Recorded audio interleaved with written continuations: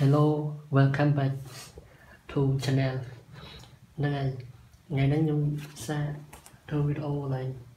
ដាំបាយនៅក្នុងកំពង់កន្លែងខ្សែបៀមដល់មើលតើចាំមើលតើខ្ញុំធ្វើបែបនេះតើវាឆ្អិនដល់ចឹងណាហើយខ្ញុំឃើញគេដាំលើ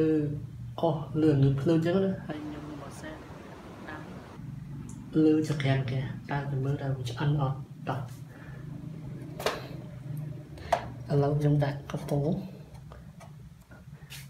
ដាក់កំប៉ុងឲ្យចំកណ្ដាលចក្រានមក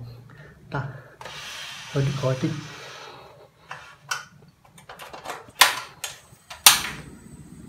យើងបន្ថយភ្លើង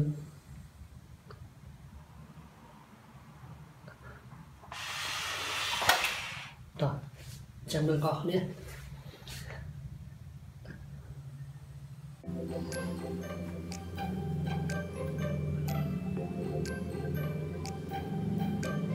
អូខេតើយើងចាំមើលបញ្ញា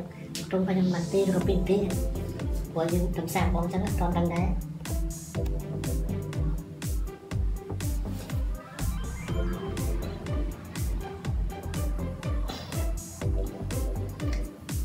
ហ្នឹងហើយអញ្ចឹងចាំមើលកន្លែងពីទីចាំខ្ញុំមើលសាកមិញ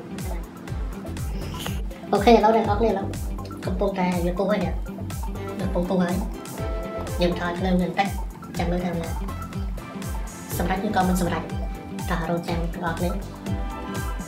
OK ពុះហើយ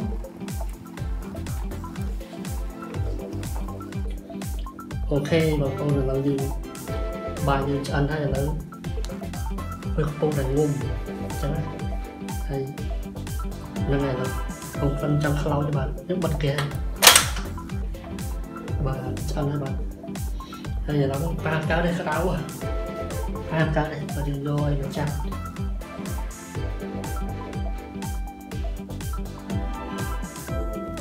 អូខេរងចាំមិនទីឬជា